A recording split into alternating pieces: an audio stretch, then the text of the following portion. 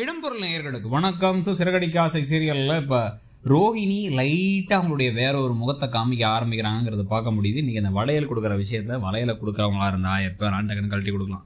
ஆனால் வந்து வளையல் அப்படியே டைட்டாக இருக்குங்கிறது என்ன? அப்படியே கையை கைது பண்ணிட்டு என்ன மனோஜ்? மனோஜ் அதெல்லாம் ஆன்ட்டி வாங்கிக்க மாட்டாங்கன்னு எனக்கும் தெரியும். அப்படின்னு ஒரு வார்த்தையை சொல்லும் போதே தெரியுது.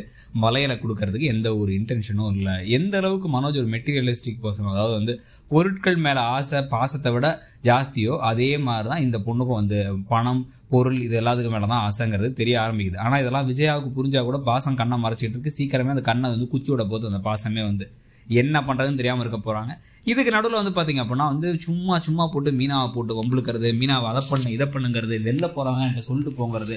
அதே மாதிரி வந்து யாருக்கிட்டையும் எதுவும் சொல்லக்கூடாது நான் எங்கே போகிறேன் வரேன்னு சொல்லக்கூடாதுன்னு ஒன்பதாயிரம் ரூல் போட்டிருக்காங்க. இதெல்லாம் மீனா வந்து தட்டி கேட்க வேண்டிய ஒரு இடத்துல தான் இருக்காங்கிறதா நம்ம திருப்பி திருப்பி சொல்கிற விஷயம். என்னன்னா வந்து மீனாவுக்கு தன்னுடைய கணவரோட சப்போர்ட் இருக்குது தன்னுடைய மாமனாரோட சப்போர்ட் இருக்குது நியாயமாக பேசினா வந்து இவங்க யாருக்கும் பயப்பட தேவையில்ல. அது மட்டும் இல்லாமல் இவங்க யாரோட சப்போர்ட் இல்லைனா கூடவே தைரியமாக பேசலாம். அதை விட்டுட்டு இப்போ ஏன் அவங்க அமைதியாக வந்து அரிசி நான் தான் எடுத்து கொடுக்கூடாது ராசி இல்லாதவன் நீங்களே எடுத்து கொடுங்கிற மாதிரி இவங்க பணிஞ்சு போகிறதெல்லாம் வந்து ரொம்ப தப்பான ஒரு விஷயம். இதில் வேற இந்த ரோஹிணி வேற வந்து அவ்வளோ தூரம் உட்காந்து எல்லாத்துக்கும் பூரியை போட்டு கொடுத்தா பூரி எனக்கு பிடிக்காதுன்னு மூணு பேர் கொண்டு போய் ஏபிசி ஜூஸ் போட்டு தருவாங்களாமா. இப்போ வந்து இவங்க வந்து இந்த சோறு சமைச்சிட்டு அவள் அவ வந்து பியூட்டி பார்லர் போகிறதுக்கு முன்னாடி அது பண்ணி இது பண்ணுவாங்களாம். அதுலேயே ஏதாச்சும் குறை சொல்கிற மாதிரி நாளைக்கு ஏதாச்சும் இதுவோ? இதெல்லாம் எனக்கு பிடிக்காது. இந்த மாதிரிலாம் வைக்கக்கூடாது.